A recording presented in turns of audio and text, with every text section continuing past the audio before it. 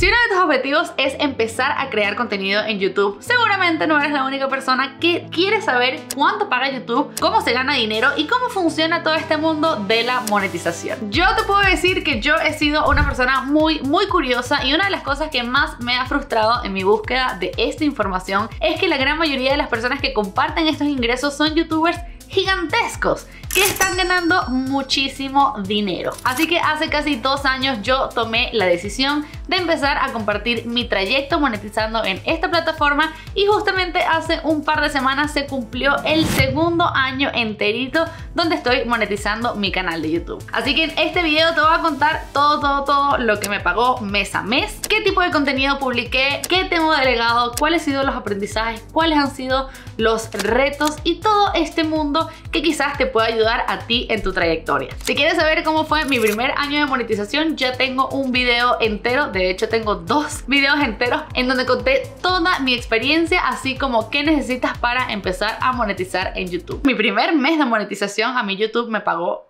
28 dólares. O sea, venimos de un Venimos de un trayecto, señores. Sin embargo, una cosa que se me ha hecho bastante interesante y que por eso lo quiero compartir es que no ha sido un año así como muchísima gente cree. No ha sido un año lineal, no ha sido un año en donde mis ingresos han crecido a comparación del primer año de monetización, sino todo lo contrario, pero no les voy a spoilear, eso lo vamos a ver ahora en el video. Y por si eres nuevo por acá, me presento rapidito, yo soy Carla, estoy viajando a tiempo completo desde el 2020, que también trabajo por internet y además de eso también estoy compartiendo contenido en redes sociales, en mi marca personal, Carla con Wi-Fi. La gente está segura cruzando y yo estoy nerviosa. Así que en este canal de YouTube y en mis otras redes vas a encontrar de todo. Vas a encontrar desde tips para empezar a trabajar por internet o ganar dinero por internet hasta diferentes tips y diferentes aventuras que he hecho en algunos de mis viajes como nómada digital. Así que si es un contenido que te pueda interesar, te invito a que te suscribas de una vez. Antes de irnos a los números, al chisme, que seguramente por eso estás aquí, quiero volver a hablar rápidamente sobre mi primer año monetizando con YouTube. Como bien yo te dije, mi primer mes con YouTube yo moneticé 28 dólares. Y estuve mes a mes publicando y creando un montón de contenido para que a finales de mi primer año de monetización yo cerrara el año en unos 1000, 1100 dólares al mes. Que te puedo decir fue una millonada. En ese momento yo sentía que eso era una cantidad de dinero impresionante. Sin embargo, obviamente yo estaba haciendo todo para mi canal, yo estaba editando, yo estaba produciendo, yo estaba haciendo todo, todo, todo, todo. Y el casi 100% de mi cerebro se iba ahí, aunque yo tenía otros trabajos. Este año es un poco diferente porque este año finalmente tomé la decisión de empezar a delegar y además de eso también empezar a dedicarle mucho más tiempo a este canal. Yo tengo otras redes sociales, de hecho YouTube hasta ahora no es mi red social más grande, sino es Instagram y otras redes en los que creo contenido en formato vertical o creo estos famosos shorts o reels. Ese tipo de contenido se lleva la gran mayoría de mi tiempo. Sin embargo, no me paga, así que una de las decisiones que yo tomé en el 2023 fue empezar a invertir mucho más tiempo en mi canal de YouTube a ver hasta dónde podía crecer. Aunque de una te digo que las expectativas no necesariamente fueron cumplidas y que me llevé un gran aprendizaje en este año. Pero no te voy a decir nada, vámonos a los números y veámonos nosotros mismos. Empezamos con marzo. Marzo fue un mes en el que hubo una bajada. Yo venía de unos 1300, 1400 al mes y en marzo, ¡fum! Se acabó la temporada navideña, se acabó el dinerito de los patrocinantes y bajaron un montón los números en ingresos. Este mes publiqué un total de 7 videos cortos y 2 videos largos a los que le fue relativamente bien. Hice uno con una colaboración de una marca y luego hice otro sobre ser nómada digital y este mes en total alcancé 377 mil reproducciones, 15.600 horas de reproducción, crecí casi 6.000 suscriptores y generé un total de 815 dólares con 49 centavos. Obviamente esto no está nada mal. Si eres una persona que te estás dedicando a esto o que estás empezando o incluso decir que un año después de empezar a monetizar estoy ganando 800 dólares al mes, no suena absolutamente nada mal. Pero obviamente para mí fue como un shock porque venía de este número grande como 1400 que cuando me bajo a 800 fue como que estoy haciendo mal. En el mes de abril empecé a cambiar un poco la situación y decidí publicar 5 videos largos y 7 shorts en total. Este mes tuve un total de 468 mil reproducciones, 15.800 horas de visualización, crecí 4.700 seguidores que generaron un total de 641.92 centavos. Sí, como pueden ver, a pesar de que los números fueron un poco mejor, se podría decir porque publiqué más contenido y porque hice más cosas, los números de los ingresos empezaron a reducir. Si te soy sincera, a este punto yo estaba un poco paniqueando. Paniqueando, paniqueando porque yo dije, yo en mi cabeza y probablemente en las muchas cabezas de muchas personas, entre más suscriptores tengas, más dinero vas a ganar. Sin embargo, esa no es la realidad. Aquí me empecé a dar cuenta o, empecé a aprender un poco más sobre cómo funciona YouTube. YouTube monetiza todos los videos que tú hayas publicado en tu historia. No, importa que sea un video de hace tres años, si tienes la monetización activa, tú puedes seguir monetizándolo. Sin embargo, si las visualizaciones de tus videos se caen, no importa que tú tengas miles y trillones de seguidores o miles y millones de suscriptores. Si la gente no está viendo tus videos, YouTube no te va a pagar. ¿Por qué? Porque tú ganas dinero en base a los anuncios que le salgan a las personas que están viendo tu video. Si las personas hacen clic, si ven el video completo, etcétera, etcétera, puede que ganes más o menos, pero es indispensable que la gente obviamente vea tu video. Nos vamos al siguiente mes y nos vamos al mes de mayo. Yo hice un viaje o empecé un viaje súper chévere en el que estaba súper motivada y creé un montón de contenido. De hecho, para este mes empecé a trabajar con mi actual editor que me ayuda a editar todos los videos de este canal. Yo me acuerdo que para este momento mi lógica fue la siguiente. Yo necesito crear más contenido para poder tener más personas viendo mis videos. Así que en este momento yo me acuerdo que yo abrí una vacante en donde publiqué que estaba buscando un editor y aplicaron un montón de personas, una de ellas el editor que trabaja hoy en día conmigo, que está editando este video. Muchísimas gracias. Fue una inversión de mi parte porque yo decía que a pesar de que los ingresos iban bajando, la tirada a largo plazo es que obviamente esto sea un negocio, que sea un trabajo a tiempo completo y por ende el propio dinero que entra al proyecto pueda pagar la edición de los videos. Si te soy sincera, ese era mi único objetivo con todo esto. En este mes de mayo yo publiqué un total de 13 videos cortos o shorts y 9 videos largos, que hasta ahora creo que ha sido el mes en donde más videos largos he publicado. Y esto es porque en ese momento estaba viajando y quería publicar todos los videos al, casi que a la par del viaje. Entonces yo grababa, le mandaba todo a mi editor y a la semana siguiente se subía al canal. En mi cabeza, fórmula millonaria. En este mes alcancé 485 mil visualizaciones, tuve 14.700 horas de visualización, crecí un poquito más de 4.000 suscriptores que generaron un total de 517 dólares con 89 centavos. Estamos viendo la tendencia, ¿verdad? Continuemos. Llegamos a junio. En junio publiqué un total de 7 shorts y 4 videos largos. Estas fueron las estadísticas del mes. Fueron 534 mil visualizaciones, 10.900 horas de reproducción, crecí casi 3.000 suscriptores que generaron un total de 317 dólares con 44 centavos. Miren, en este momento no les voy a mentir, yo he estado un poco en crisis. Porque, como les digo, la estrategia detrás de este canal siempre ha sido, obviamente, compartir información de valor, compartir cosas que a ustedes les sean útiles. Pero también, obviamente, ha sido o es que sea un negocio, porque al final por más que a mí me guste compartir contenido, pues si no puedo pagar mi renta con mi contenido, pues... Ah. Y obviamente empecé a paniquear, empecé a paniquear un montón porque lo que yo decía era, wow, o sea, acabo de meter una persona más al proyecto, digamos que quiero seguir trabajando con mi equipo, quiero seguir creciendo este proyecto, pero los números no estaban dando, o sea, de hecho, siento que me estaba desangrando, literal. Y esa misma crisis creo que me hizo como empezar a como a crear contenido que no necesariamente quería hacer o incluso a desmotivarme y potencialmente dejar el canal que no lo voy a negar, fueron cosas que se me pasaron por la cabeza. Llega julio, agarramos un poquito de fuerza y publico 6 videos largos y 7 videos cortos, que en total todo el mes alcancé 346 mil visualizaciones, 13.400 horas de reproducción, crecí casi 3.000 suscriptores que generaron 423 dólares con 13 centavos. A ver, no estábamos menos que el mes pasado, así que eso me hizo tranquilizarme, pero todavía, digamos que con lo que le pagaba a mi editor, me estaba yendo a pérdida importante. Que no cunda el pánico, hay que seguir. Llega agosto. Este mes en particular, de hecho, me tomé casi dos o tres semanas en las que no publiqué absolutamente nada. Porque estaba en crisis. Eh, tuve crisis existencial, tuve crisis de contenido, tuve momentos en donde dije no sé si esto es lo que quiero hacer, no sé si esto me hace feliz. La realidad es que yo dejé de publicar en mis otras redes. Yo venía en un ritmo en donde yo publicaba todos los días videos cortos y para poder dedicarme a YouTube eh, dejé de publicar videos cortos para tener mi cerebro enfocado a esta plataforma. Y claro, los números empezaron a bajar y yo empecé a entrar en, en, en crisis. Yo había invertido en equipo, yo había invertido en cámaras, yo había invertido en mi editor, yo había invertido en un equipo, en mi asistente virtual. O sea, ya yo estaba trabajando con gente, ¿sabes? Ya había gente que casi, casi que, no te voy a decir que dependía de mí, pero sí había como un compromiso, ya no solo conmigo, sino con los demás. Yo sentía que yo intentaba y que yo publicaba y que estaba publicando más contenido que nunca antes en mi vida y no estaba sirviendo. O sea, la gente no lo estaba viendo, no estaba teniendo éxito.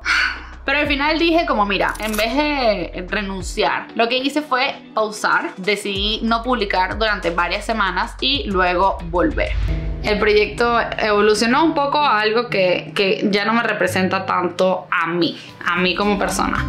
Una de las cosas principales que hice eh, para volver o que hice en agosto específicamente fue hacer un video.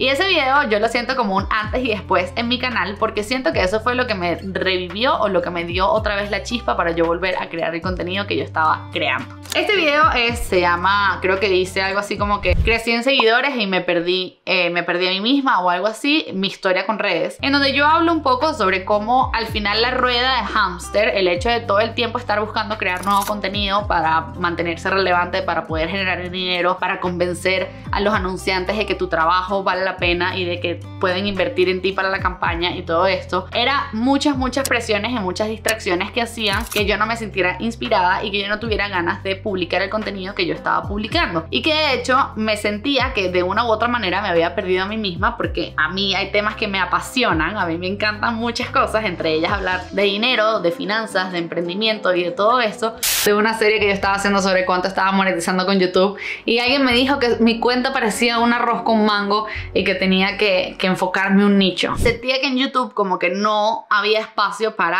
mi personalidad o para eso que yo quería compartir, sino tenía que irme más como a una estrategia más viral, más enfocada en likes, etcétera, etcétera, etcétera. No les miento que yo estaba en una batalla interna de meterme en alguno de los dos. O sea, de o soy nichos o soy viajes. Para no hacerles el cuento largo, si quieren ver el video, véanlo. La verdad es que recibí feedback súper positivo y les digo que siento que fue como esa palmadita en el hombro que necesitaba para volver a empezar. Ese video lo publiqué este mes. Fue como que un disclaimer en donde básicamente yo dije, a partir de ahora yo voy a publicar lo que me dé la gana. Lo voy a hacer enfocado en lo que yo quiero hacer, a lo que yo quiero compartir y si les sirve, buenísimo y si no les sirve, mejor. Entonces, en agosto publiqué un total de 9 videos cortos y 6 videos largos que acumularon total de 337 mil eh, visualizaciones, 15.400 horas de reproducción, crecí 3.000 suscriptores que generaron 469.17 dólares. Aquí ya empezaba a subir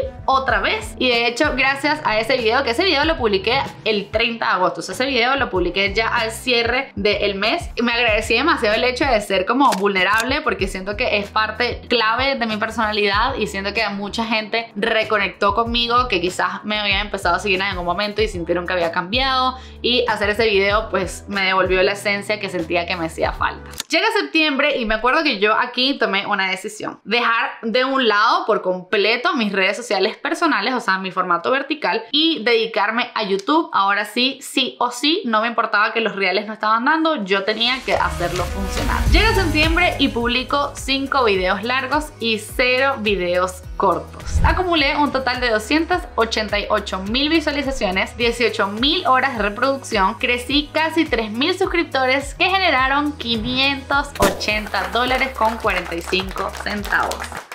Señores, empezamos a ver otra vez la curvita ir para arriba y yo sentía que el alma volvía al cuerpo. Pero no solo eso, sino que yo estaba increíblemente feliz porque empezaba a volver a hablar de las cosas que a mí me gustaban. Además de eso, algo muy curioso que también pasó en septiembre, porque en septiembre yo hice un viaje a Marruecos con mis mejores amigas y fue un viaje súper chulo en el que grabamos muchísimo, creo que salieron como 10 o 12 videos y sorpresivamente, a pesar de que en algún momento yo creí que los viajes había que matarlos y ya, sorpresivamente esa serie le fue súper bien, o sea, de hecho muchísima gente empezó a ver mi video de Marrakech, empezó a ver mi video del tren, incluso mi guía de Marruecos y todas las cosas que publiqué alrededor de ese viaje les empezó a ir súper bien y poco a poco todo se empezaba a mover de manera positiva una vez más. Llegamos a octubre y en octubre publico 7 videos largos que era la serie de Marruecos y 2 videos cortos. Fueron en total 254 mil visualizaciones, 15.400 horas de reproducción, crecí casi 3.000 seguidores y generaron un total de 502 dólares con 49 centavos. Este fue creo que el aprendizaje, ya no ni cuántos aprendizajes van en este video, pero este fue otro gran aprendizaje porque este mes en particular yo seguía metiéndole muchísimo a los videos de viajes. Pero en mi marca personal siempre ha habido un paraguas. Y el paraguas, mi paraguas es nomadismo digital porque yo trabajo en línea mientras viajo. Y mi paraguas es literalmente mi personalidad. Mi personalidad está dividida entre viajes porque me fascina viajar y entre dinero por internet, emprendimiento, trabajo remoto porque es otro tema que me apasiona muchísimo. No es tan fácil transmitirlo, al menos en YouTube. Siento que en short form es un poco más sencillo, pero en YouTube es complicado. Y como ya les expliqué, ese mes yo estaba viajando por Marruecos. Marruecos fue súper chévere, en visualizaciones le fue bastante bien, sin embargo estaba monetizando muchísimo menos. O sea, y eso fue algo que a mí me frustró un montón porque mis videos de dinero por internet, mis videos de otras cosas generan mucho más dinero que mis videos de viajes. Y aquí yo me empecé a dar como un segundo aprendizaje en donde yo decía que si era algo que yo quería hacer, tenía que tomar una decisión. Porque cuando tú te dedicas a crear contenido, tú tienes que hacer contenido en el que tú puedas aportar algo, en el que tú puedas aportar algo nuevo. Yo me di cuenta que dentro de todo el contenido de viajes que existe en el internet, sobre todo en YouTube, mi contenido en particular siento que no tiene mucho que aportar. No es que sea malo, no es que sea nada, pero como que al final siento que como que la manera en la que yo viajo es demasiado particular y no aporta mucho a, a, a los demás y cosa que es válido, o sea, tipo dejando el Lego de un lado es algo que me quedó bastante claro en octubre cuando ya yo había dedicado todos estos videos que yo los veía y me moría de la risa, me encantaba. Pero al final no aportaban tanto y a largo plazo en un modelo de negocio normal después no necesariamente era el mejor negocio del mundo. Nos vamos al siguiente mes de noviembre y en noviembre publiqué un total de 4 videos largos con 3 videos cortos que acumularon 252 mil visualizaciones, casi 14 mil horas de reproducción, crecí 2.500 seguidores y generaron un total de 551 dólares con 47 centavos. ¡Ah! A este punto, se lo juro por mi vida que lo que yo le pagaba a mi editor, o sea, me iba a pérdida todos los meses y llevaba ya varios meses yéndome a pérdida. Complicado. Pero bueno, llega diciembre. En este momento decidí pausar un poco los viajes primero porque no, no tenía más viajes grabados. Yo dije, me voy a sentar, voy a grabar varios videos que tengo tiempo queriendo hacer y voy a ver cómo les va. Este mes publiqué tres videos largos y un video corto. Un video fue siete formas en las que gano dinero mientras viajo. El otro video fue mentiras sobre ser nómada digital, o sea, hablando un poco sobre mitos de nomadismo digital. Y el tercer video fue cómo empecé a creer en mí misma, hablando un poco sobre el síndrome del impostor. Y me llevé una gran, gran sorpresa que me aclaró muchas dudas que tenía en este camino. El video de las 7 formas en las que gano dinero se viralizó. Fue un video al que le fue súper bien y atrajo muchísimas personas nuevas a este espacio, a mi canal de YouTube. Y los otros dos videos les fue, a pesar de que no fueron virales, les fue infinitamente superior a los videos en donde yo estaba hablando sobre mis viajes o sobre otras cosas. Vámonos a los números y este mes fueron 390 mil visualizaciones, casi 24 mil horas de reproducción, crecí 5.300 suscriptores que generaron un total de 1.004 dólares con 58 centavos. Ah. Señores, este mes volvimos a las cuatro cifras.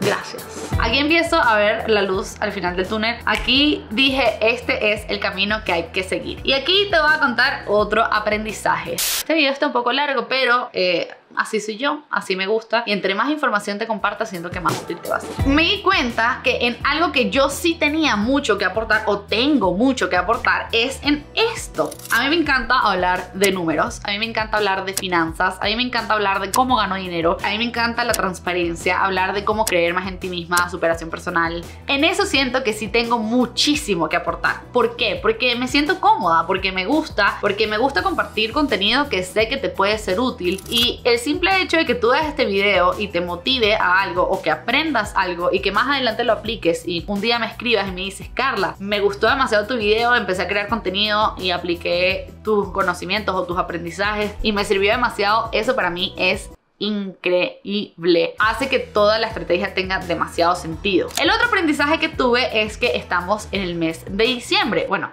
en este, en este mes estamos en el mes de diciembre. Las monetizaciones siempre suben. ¿Por qué? Porque estamos en temporada navideña, señores. En diciembre las marcas pagan muchísimo más dinero para anunciarse y para salir frente a las personas y que las personas compren su producto. Y por eso ves a cientos de youtubers haciendo cosas como Blogmas o haciendo diferentes eh, contenidos muy repetitivos, o sea, tipo todos los días publican un nuevo contenido porque entre más contenido publiques y más visualizaciones alcances, más dinero vas a ganar. Continuamos ahora al mes de enero. Este mes de enero publiqué 5 videos largos y 5 videos cortos. Y estos videos largos son videos de los que me siento bastante orgullosas. El primer video que publiqué fue con una marca que se llama Printful que les estaba contando que saqué, bueno, que, que, que quiero lanzar una marca de print on demand y que creé mi propia camisa y todo un tema y voy a las fábricas. Y fue un video súper interesante y de mucho valor al que mucha gente le gustó porque yo lo hice y porque era mi experiencia y porque siento que tenía algo que aportar. El segundo video era hablando sobre cómo puedes viajar en clase ejecutiva a un precio mucho más bajo. Igual dejé mi experiencia y con tips. Luego hice otro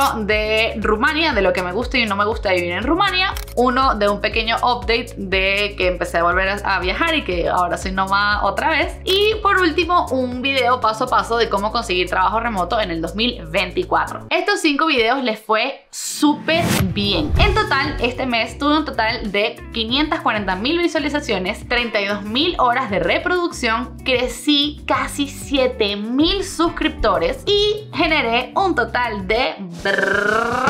1136 dólares con 64 centavos. Eh, fue un gran mes. No lo voy a negar, fue un gran mes, fue un mes de mucho trabajo porque literalmente me senté horas y horas a hacer esto que estoy haciendo en este momento, pero valió la pena y que vi realmente los resultados de mi trabajo y de mi esfuerzo. Continuamos al mes de febrero. En el mes de febrero publiqué un total de cuatro videos largos y un video corto. Este mes también fue súper estratégico y de hecho publiqué un montón de contenido. Hablé sobre 10 páginas para que puedas encontrar trabajo remoto moto, hablé de libros, que era una línea de contenido que llevaba un montón de tiempo queriendo hacer. Saqué un video también sobre cómo salí de deudas y cómo mejoré mi relación con el dinero, entre un montón de cosas más. Así que en el mes de febrero acumulé un total de 447 mil visualizaciones, 27.900 horas de reproducción, gané 6.300 suscriptores que generaron un total de... 1.237 dólares con 50 centavos.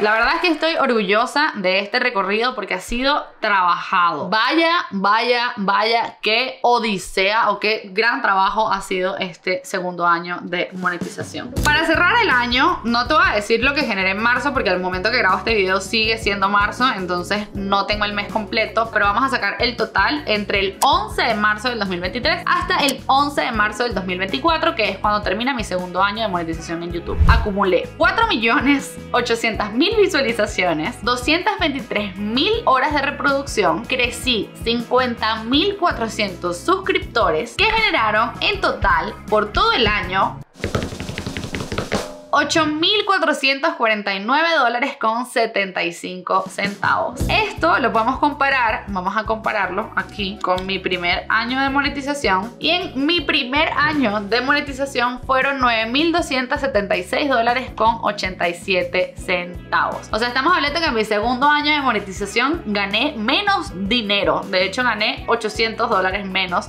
que en mi primer año, pero por todo lo que les estoy diciendo. Así que, miren.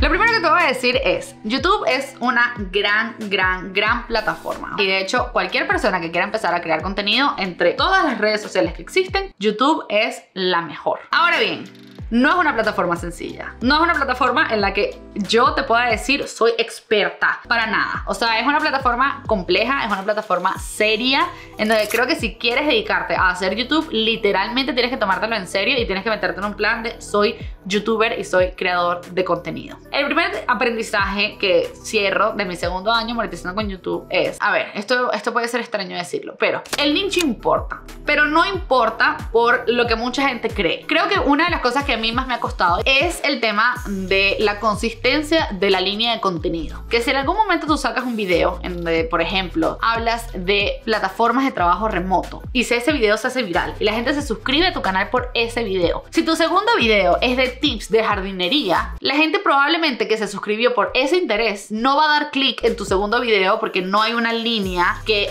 haga relación entre ambos contenidos. Esa línea es algo que a mí todavía me falta. He hecho muchas adaptaciones y voy a seguir haciéndolas porque es una plataforma que cambia todo el tiempo y que hay que mantenerse aprendiendo. El segundo aprendizaje que me llevo es yo no podría hacer esto si yo no hubiese delegado la edición porque es un trabajo. Una cosa son los títulos, las miniaturas, los hashtags, las etiquetas, la descripción, más la edición ha sido un trabajo gigantesco. Y yo creo que una de las principales razones, al menos que yo más orgullosa me siento de este proceso, es que no me rendí en este camino. Y la verdad, ahorita me siento en una posición súper cómoda en donde siento que a pesar de que no tengo la misma monetización que mi primer año de YouTube, puedo construir algo mucho más estable y puedo hacer algo mucho más eh, como robusto. Esta monetización que estamos hablando en este video es únicamente lo que me está pagando YouTube. Obviamente estos ingresos pagan impuestos. Dependiendo del lugar del planeta en donde estés, vas a pagar un impuesto diferente. Una persona que se dedique a esto también puede monetizar de otras maneras, con colaboraciones con campañas, con eh, marketing de afiliados, dejando links en la descripción, con infoproductos propios. Hay cientos de maneras de hacerlo. Si tienes duda de cómo puedes hacerlo, ya en,